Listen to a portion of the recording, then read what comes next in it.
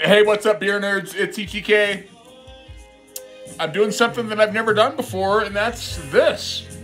Believe it or not, I've never had the Hercules Imperial IPA. I'm sure I've ever even seen it before. Perhaps I'm living under a rock, I don't know, but this was at my local beer store in the cooler in the single section for three bucks. 32 ounces of 9.5% IPA. The born on date reveals a March brew date, which is pretty damn good. Uh, I don't know about you, but I like to pay attention to these things, especially with IPA.